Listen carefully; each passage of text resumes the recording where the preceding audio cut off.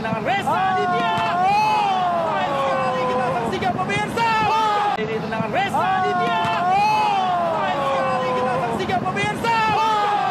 Iya, ini kalau saya agak teringat golnya Divock Origi ya. ya. Origi pernah bikin gol dengan situasi seperti ini. Pemirsa, ayo sama-sama kita teriak. Siapa kita? Indonesia!